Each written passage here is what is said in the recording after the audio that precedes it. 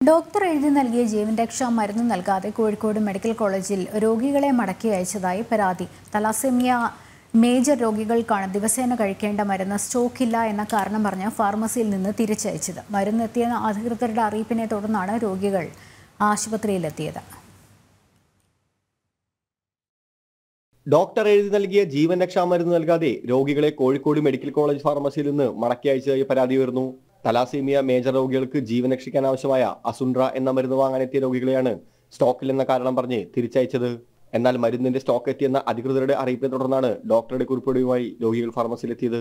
മൂന്ന് രോഗികൾക്ക് പേരിന് മരുന്ന് നൽകിയെന്നല്ലാതെ ഒട്ടേറെ പേർക്കും നിരാശരായി മടങ്ങേണ്ടി വന്നു. കോഴിക്കോട് മെഡിക്കൽ കോളേജിൽ മരുന്ന് എത്തി എന്ന് അധികൃതർ അറിയിക്കുകയും അതിന്റെ അടിസ്ഥാനത്തിൽ ഇത് കഴിക്കുന്ന രോഗികളെ സംബന്ധിച്ചിടത്തോളം അത് വളരെയേറെ ആശ്വാസപ്രദമാവുന്ന ഒരു നടപടിയായി തീരുകയും ഒക്കെ ചെയ്തിരുന്നു.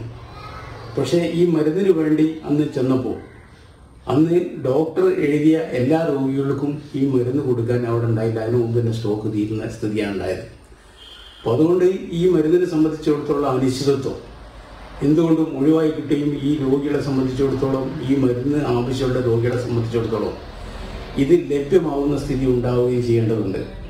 തലാസീമിയ രോഗികൾക്ക് ഭാരിച്ച ചെലവ് വരുന്ന ദിവസേന കഴിക്കേണ്ട ഈ മരുന്ന് നൽകാൻ കാരുണ്യ ആരോഗ്യ സുരക്ഷാ പദ്ധതി വഴി വ്യവസ്ഥകളില്ല. രോഗികൾക്ക് മരുന്നുകൾ നൽകി വരുന്നത് ആശാധാര പദ്ധതി വഴിയാണ്. ഇതിനു വേണ്ടി വരുന്ന ചെലവിൽ അറുപത് ശതമാനം കേന്ദ്ര സർക്കാരും നാൽപ്പത് ശതമാനം സംസ്ഥാന സർക്കാരുമാണ് വഹിക്കുന്നത്. മരുന്ന് ലഭിക്കാതിനെ തുടർന്ന് എന്ത് ചെയ്യണമെന്നറിയാതെ ആശങ്കയിലായിരിക്കുകയാണ് പാവപ്പെട്ട രോഗികൾ. ജനം കോഴിക്കോട്.